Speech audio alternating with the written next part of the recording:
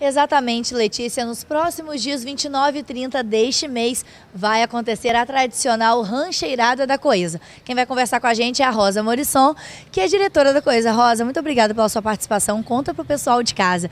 29 e 30 no CEPOP, a partir das 18 horas, a tradicional rancheirada. O que, que o público pode esperar?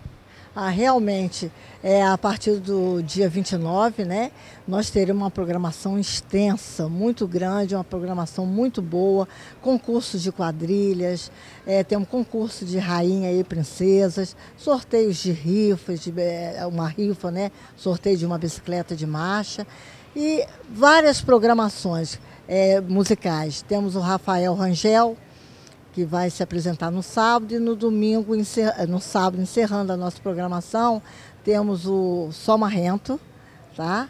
E no domingo, dando continuidade, teremos o Valci Panela de Barro, o concurso de quadrilha infantil e também, é, encerrando a programação, o Grupo Sem Marra.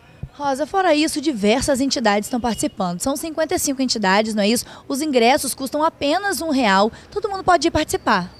Com certeza, gente. Apenas um real é um preço simbólico e você colaborando, você indo a esta rancheirada, você participando, você vai estar ajudando as nossas entidades a fazer um trabalho social, cada uma com a sua clientela. Além disso, Rosa, vão ter várias barraquinhas de comidas típicas, não é isso? Tudo pra, muito delicioso para todo mundo aproveitar.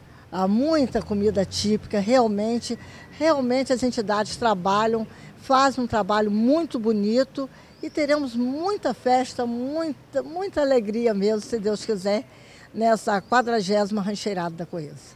Muito obrigada. Então é isso, Letícia. Nos próximos dias, 29 e 30 de julho, a partir das 18 horas, no CEPOP, acontece a quadragésima rancheirada da Coesa.